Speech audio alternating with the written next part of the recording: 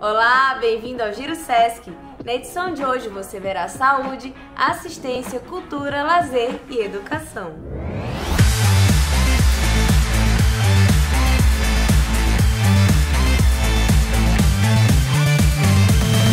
O Aratu foi a estrela da feira gastronômica Sabores do Território, que aconteceu no Hotel Sesc Atalaia em Aracaju.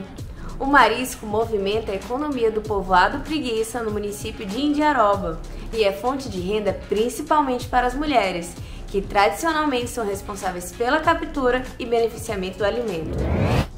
Prepare o seu trabalho musical. Está chegando a edição 2022 do mais tradicional evento de música de Sergipe.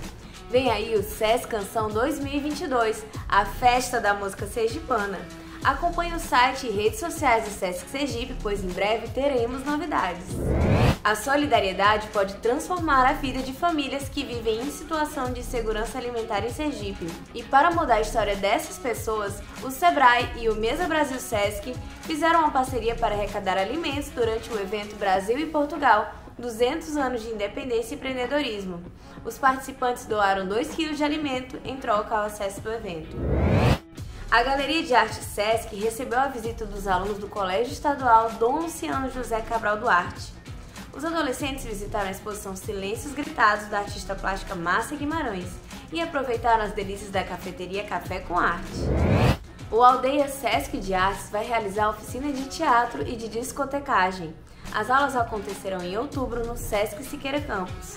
Saiba mais no 79 3025 9340. Também no Sesc Siqueira Campus está disponível o curso de violão popular. As informações estão na central de relacionamento com clientes. O circuito Sesc de corrida acontecerá no domingo, 16 de outubro, na Orla da Atalaia, Aracaju.